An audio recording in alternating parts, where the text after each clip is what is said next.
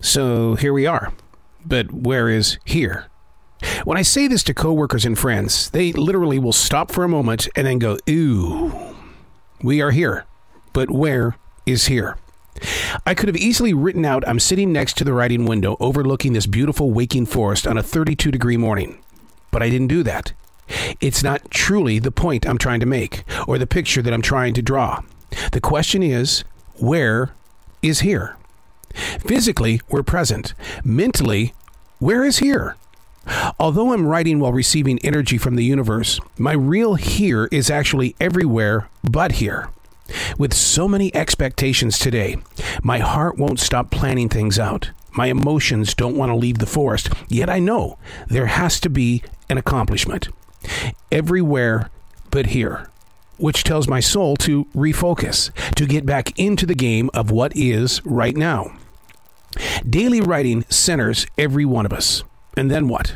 Does that take us away from being prepared? The goal should be put on calm. Don't teach yourself to write a story before something happens. Hey, it's Arroe. This is the Daily Mess, a chronological walk through an everyday world. I am a daily writer, the silent wolf. I sit on the edge and I just watch. I observe. I listen. I study. And then we get to create a conversation. This is the Daily Mess. The one thing I hear a lot about these days is the high cost of storage. People who use these giant warehouses to put furniture and other items in. Now that the rental space is coming in at nearly half your monthly payment for the house, people are having to give up their storage space inside those four walls. As one friend stated, I didn't want to come across as a hoarder. That's why I rented the storage space. But with the cost reaching unaffordable levels, lives are swiftly changing. My wife and I were deeply dedicated and loyal to this thing called the Swedish death cleaning. If you haven't used it in six months and nobody else in your family wants it, you have to get rid of it. And we were doing really well until we've reached the items that still have sentimental value. Suddenly, everything on the Swedish death cleaning stopped, which the experts say is perfectly normal. My heart goes out to those who are being forced to move away from their storage places. Their life is about to change because it's no longer inside that giant building. Do you sell it? Do you save it or throw it away? With families living together well beyond their 30s, the house is already full and overflowing. When is the time to clear out the closet? We are in a very overcrowded world, and I'm not talking people. I'm talking about items. We keep buying items.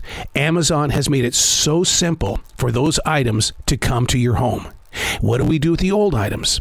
We set them in the corner. We put them in a closet. We put them out in the garage. We don't get rid of it. Now, personally, I struggle with the idea of having a garage sale. And the reason why is because what I think it's worth, nobody's going to pay that price. And if I try to take it to a goodwill, just to relinquish it is one thing. But to really know that it's no longer going to be a part of my life is a very tough thing. It's a mental issue. It really is. It's like the books that I get from these great authors that send them to me. I can't read them all. So, what I do is I try to give them all away to people who love these particular subjects, or I'll take them to Goodwill. But learning how to lead a clean, cleared life is not something that happens overnight. Like I said, my wife and I were doing the Swedish death cleaning. We were doing so well until we got to the sentimental things. Now we have to learn to let go. It's just a thing. It doesn't have a heartbeat. It doesn't think for you. It's not your best friend. It's just a thing. What are you storing inside of your head? In reality, it's costing you energy. It's costing you time to properly heal. We just keep shoving things away. And that's the very reason why I'm a daily writer. I don't want to hold on to it anymore.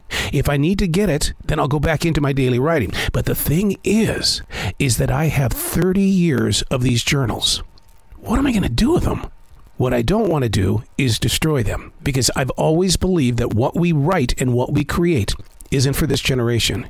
It's for somebody else who just wants to learn a little bit more. I'm Arroe, and that's the Daily Mess.